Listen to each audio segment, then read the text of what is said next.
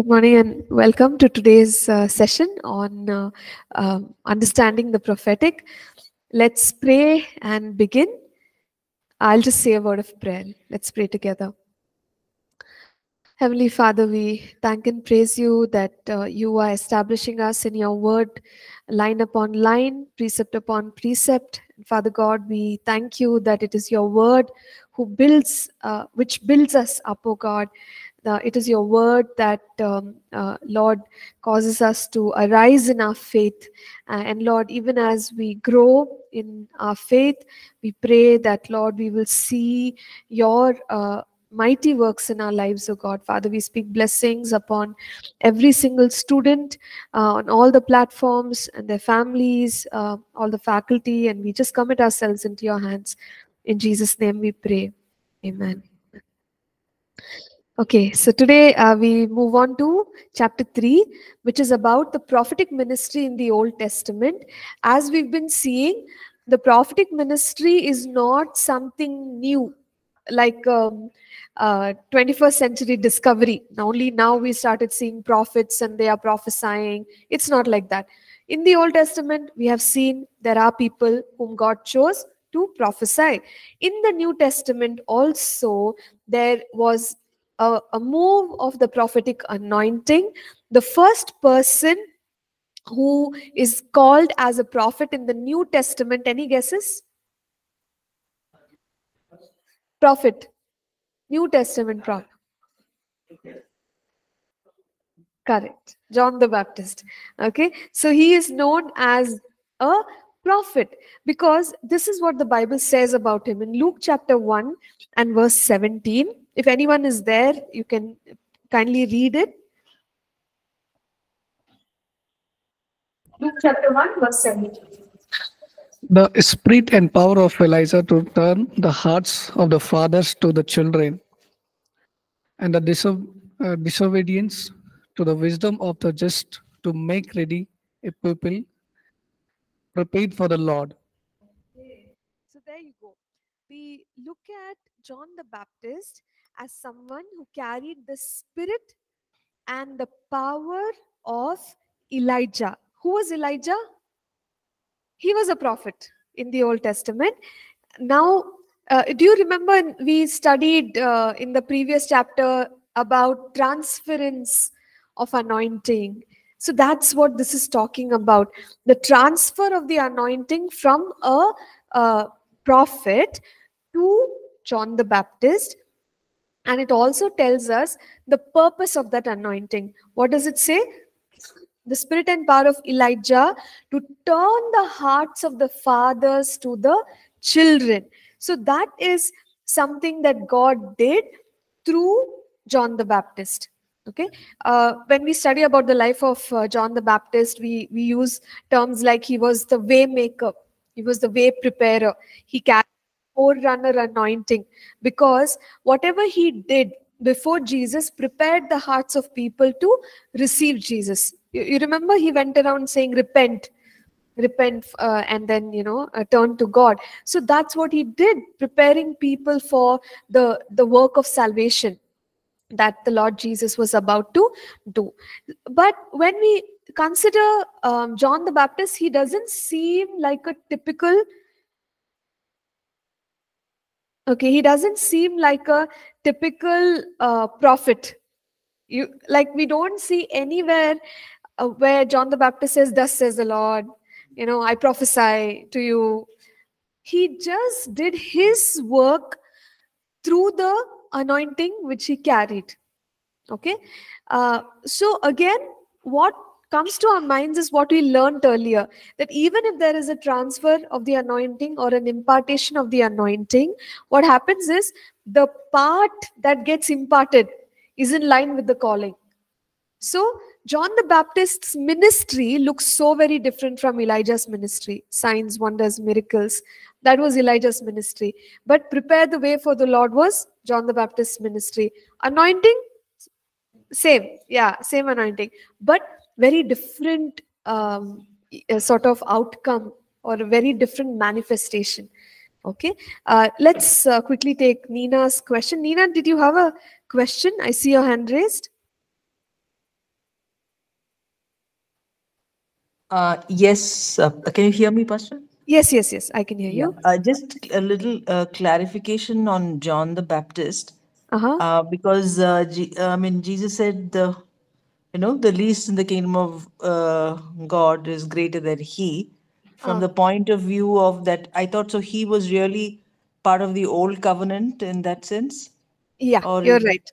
Ah. You're right. So that that's what uh, uh, that scripture implies. He's part of the old covenant. So um, the least in the kingdom is greater than he would refer to all the blessings that a new new covenant believer has, you know, which are so much better than even John the Baptist because he comes under the old covenant. So, but that that uh, means that, but but as far as being a prophet is concerned, he's considered a New Testament prophet. Mm, yeah, that's a good question. I one second. Let me see if I can.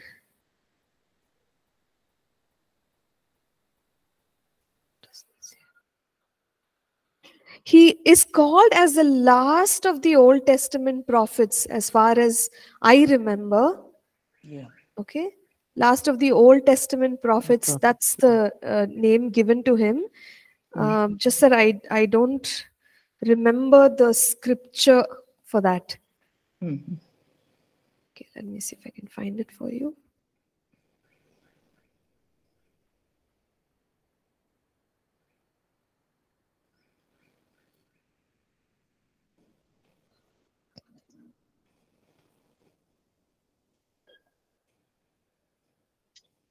Yeah, so uh, it is it is said that he is the last of the old covenant prophets.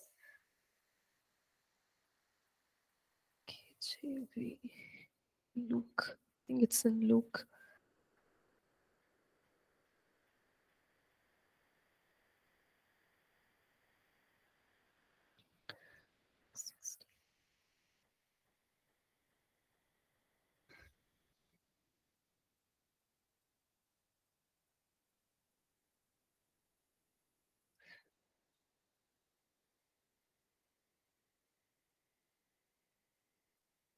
Just a moment, Nina.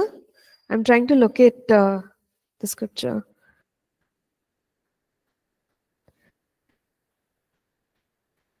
Okay, so there is one uh, uh, scripture in Luke 16 16, yeah, which says the law and the prophets were until John.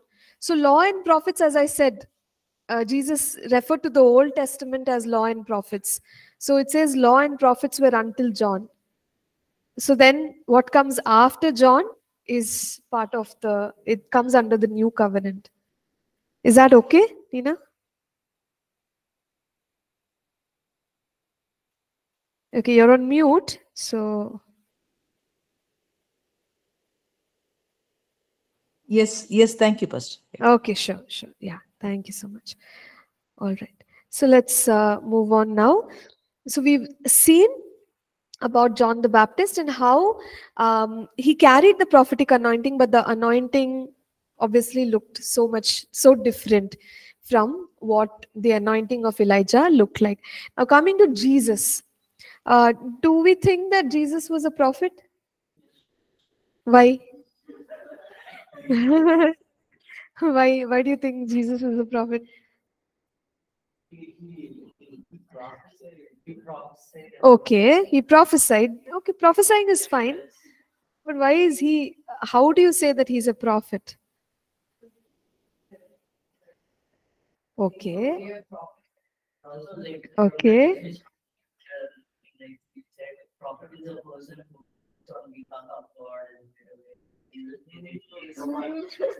Oh, okay, okay. Okay, I accept. I'm accepting everything. Give me the most solid answer. All your answers are correct only. But why are we calling him a prophet? When we say prophet, what is the difference between someone who prophesies and someone who's a prophet? Huh? What Deuteronomy 18:15? Yeah, Moses said correct. But give me a confirmation from the New Testament. That Jesus is a prophet.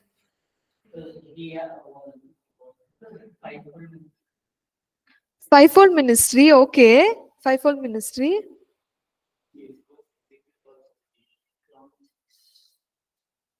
Huh?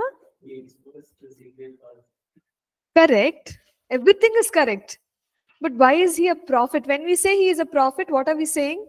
We are saying that he's in the fivefold ministry, right? How can we say that? That's my question. How can we say that he is in the fivefold ministry? It's it's what? It's not there, material. it's not in the material. Okay.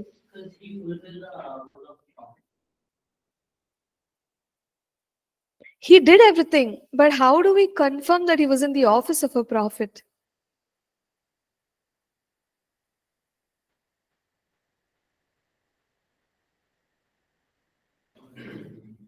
Because follow me. Ah, follow me.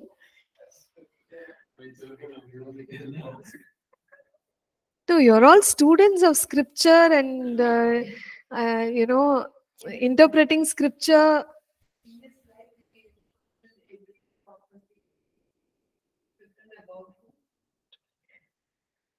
Yeah, but would that would that make uh, somebody a prophet?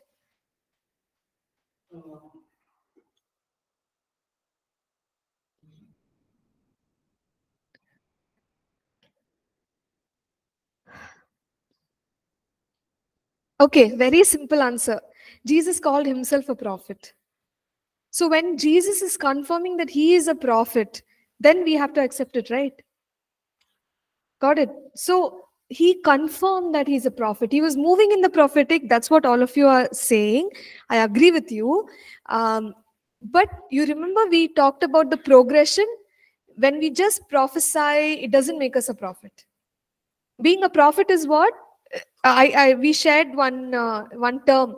What does a prophet carry?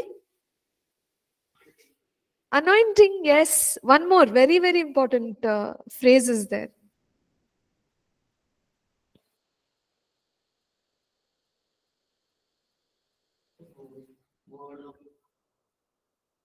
Governmental authority.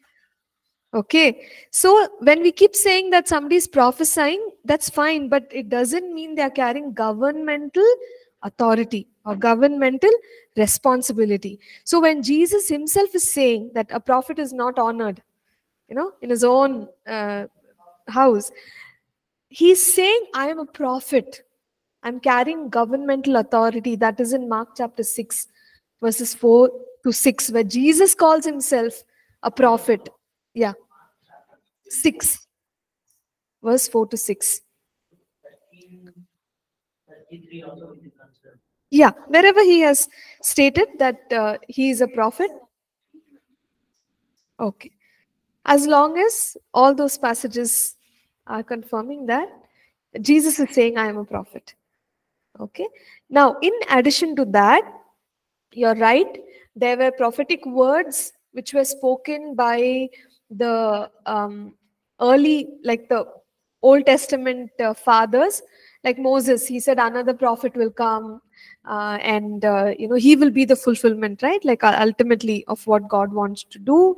Um, and we see people when they saw the Lord Jesus coming, uh, there was a confirmation that hey, this is a prophet, this is a prophet of God. When he moved uh, in the prophetic anointing, that also showed that he was carrying the prophetic anointing. So, through all these things, we recognize that the Lord Jesus was a prophet. Okay, and there were many manifestations in and through his life that revealed that he had the prophetic gift as well. Okay, now let's move on. Let's look at um, the early church. There are examples. I'm not going into those examples. If you recall, uh, the woman at the well, Samaritan woman, didn't Jesus prophesy?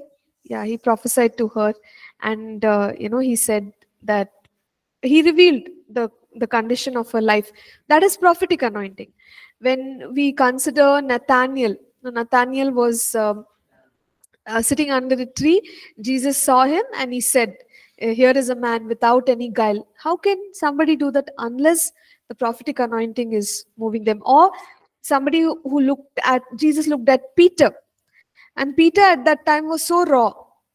He he was not uh, strong in the Lord and all that. But Jesus looked at him and said, Hey, you are going to be the rock. So, all this is part of what prophetic anointing. If you go to uh, Matthew 24, you find that Jesus is talking about the end times.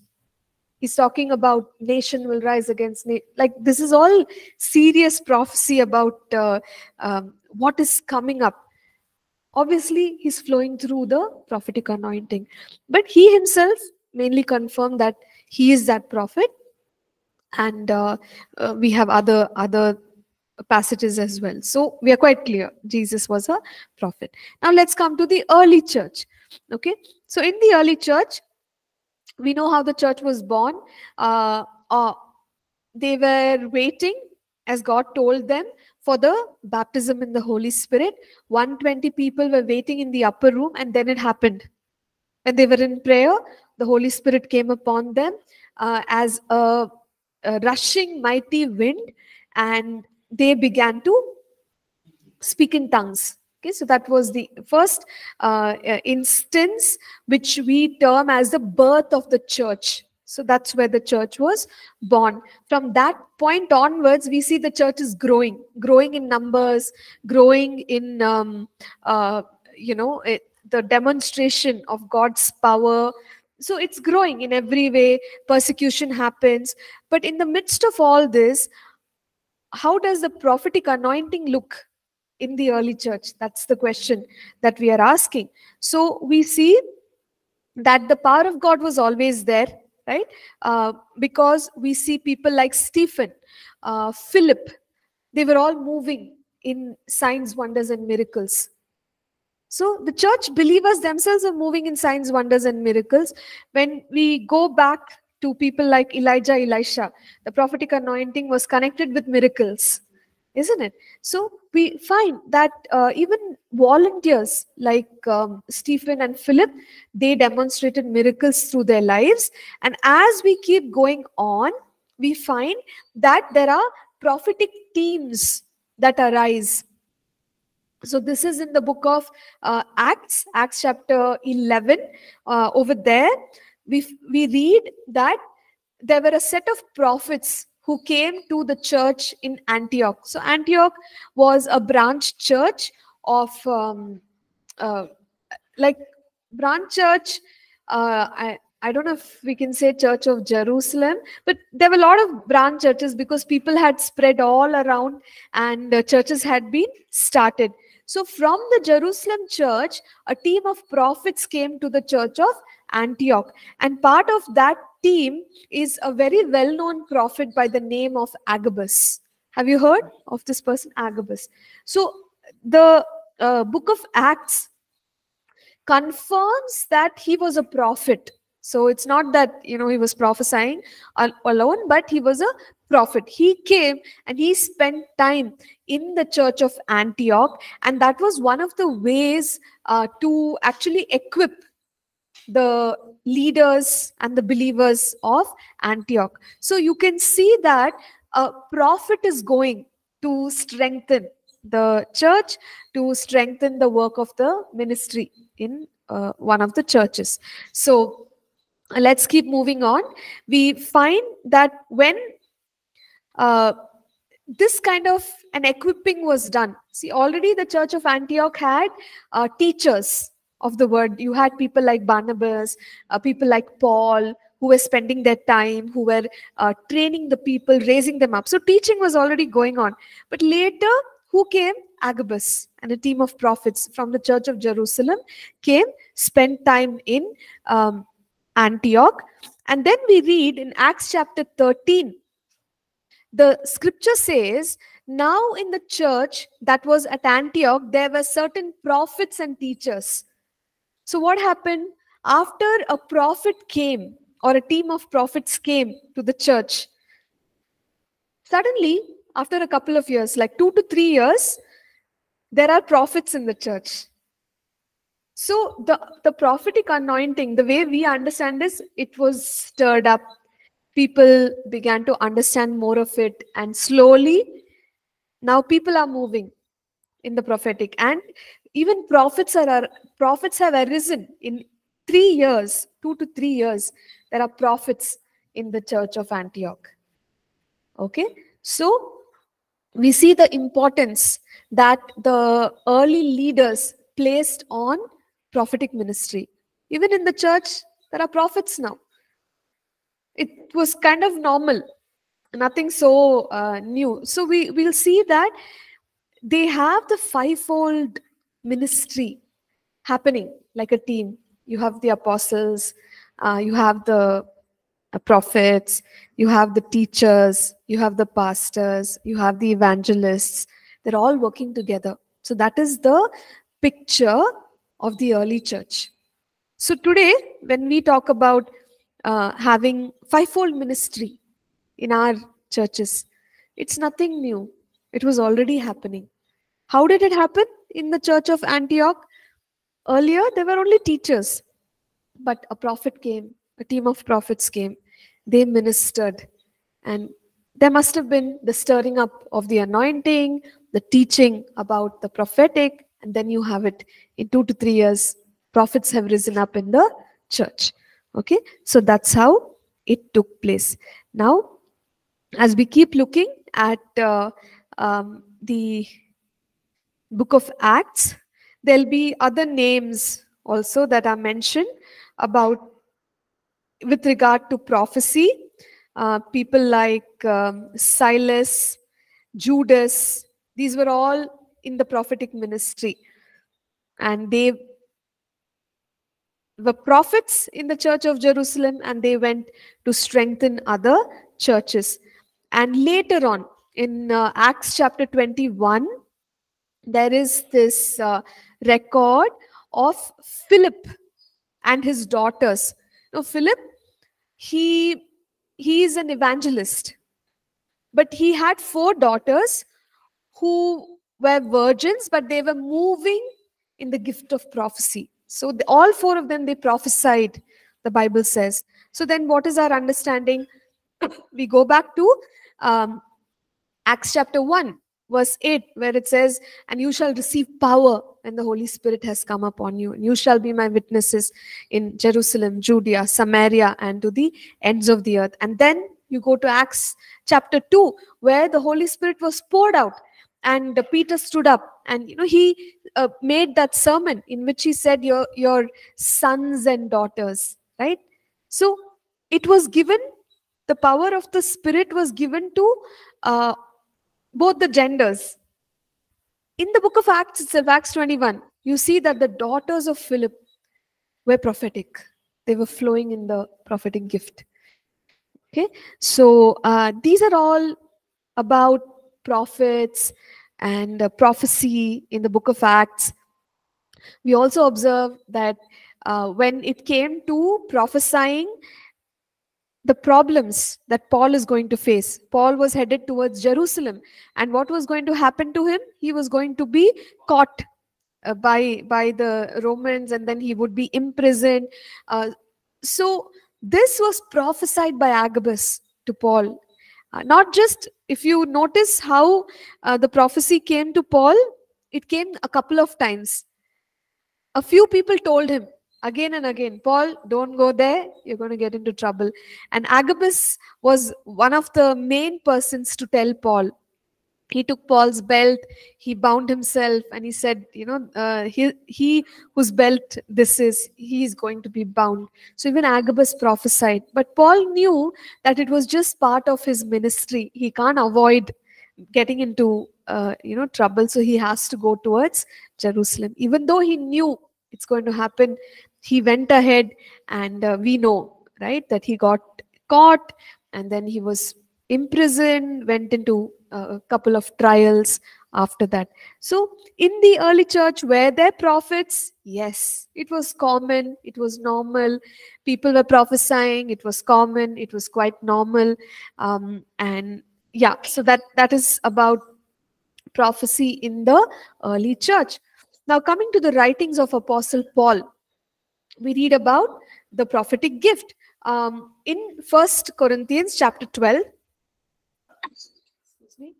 there is a listing of nine gifts of the Spirit, one of which is prophecy. So, in the churches, was there encouragement to prophesy? Yes, because Paul is writing about it and he's explaining about the gift of prophecy, the gift of tongues. That means it was practiced and it was encouraged. Uh, now, the most basic scripture for all of us regarding prophecy is First Corinthians chapter 14 and verse 3. Okay, First Corinthians chapter 14 and verse 3. If there is anyone at that passage, can you please read it? First Corinthians 14 verse 3.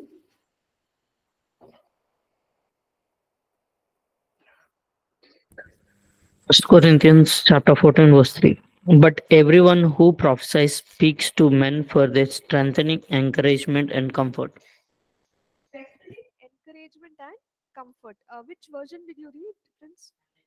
NIV. Okay. NKJV. Can somebody?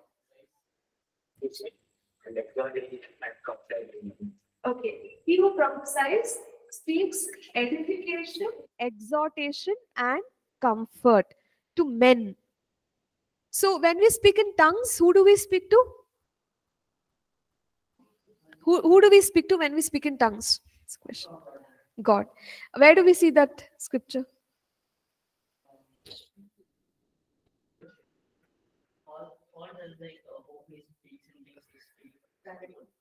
Yeah.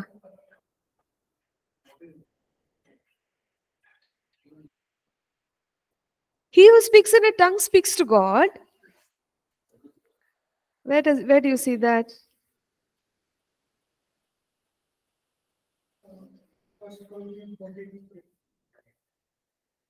First Corinthians 14 3 is prophecy.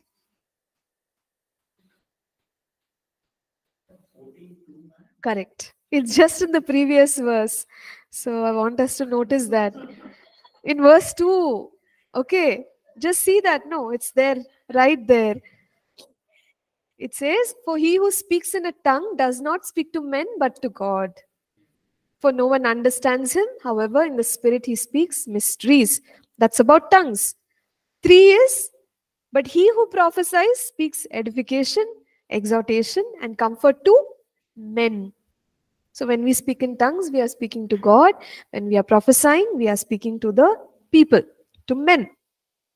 Now, um, what what is what are the what is edification, exhortation, comfort? We'll again come to it in detail. We'll look at it. But for right now, edification simply means strengthening. Strengthening. So if I want to strengthen myself, which gift if I want to strengthen myself spiritually, which gift should I operate in? Yeah, tongues.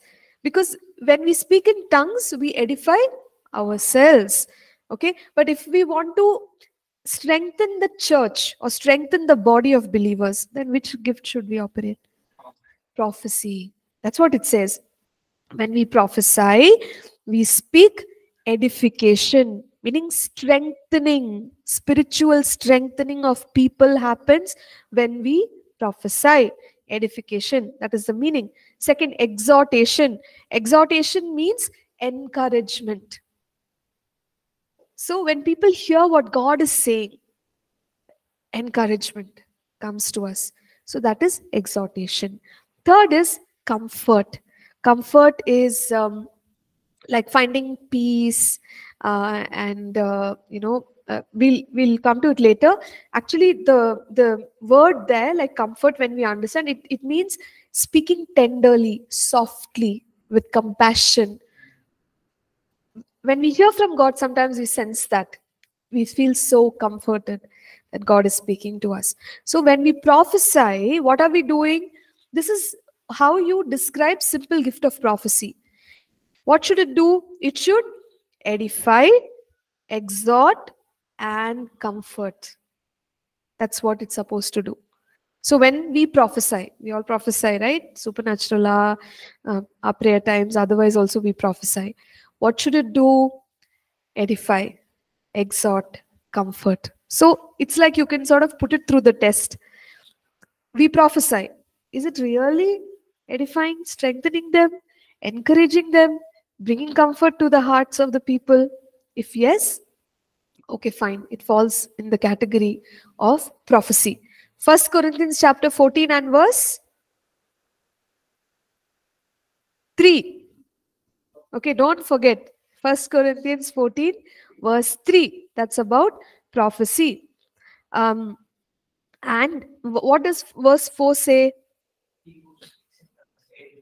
Yeah, correct. That's exactly what we were discussing till now. It's quite clear, isn't it? Yeah, yes, uh, Prince. Correct. It is. So, see, I'm saying simple gift of prophecy. Do you remember the progression? We said simple gift of prophecy, grace gift of prophecy based on Romans chapter 12. Then we said office of a prophet. So, uh, when it comes to simple gift of prophecy, we are discussing about all of us as believers flowing in prophecy. So, there we may not find those many warnings, judgments. We can sometimes, sometimes, yeah. But mostly, people who are flowing in the prophetic office, it tends to be a lot more for them, like warnings, judgments, and how to release it uh, with that authority. So they tend to do more of that. Okay, fine. Yeah. Uh, oh, Jackin has answered a question here. Yeah, thank you, uh, Jackin. So what we'll do is we'll um, probably stop right here and then we will continue in the next class. We are going to study about the progression a little bit more. So just now we said simple gift, grace gift, and uh, the ministry of a prophet. So all of this is in the New Testament. We took it from Paul's writings. So we have to look at the passages where he mentions these things and form a good foundation before we move on to other things. So we'll move on to other things and we will study about uh, how is the prophetic released next. Okay, how is it released? What are the uh, common ways in which the prophetic is released? Uh, so we will, at that point, we will talk about the prophetic word, you know, how the word comes forth and uh, it does what God wants to do. So I'm just going to stop here.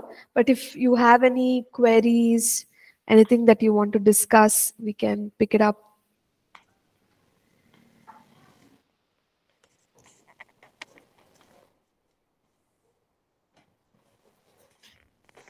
Okay, we are quite clear, I think.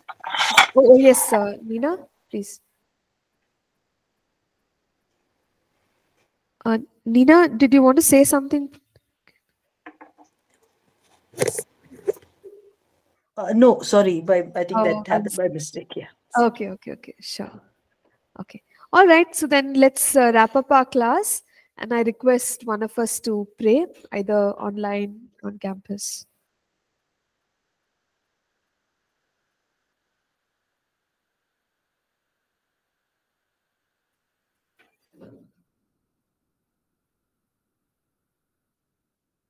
Either one of us?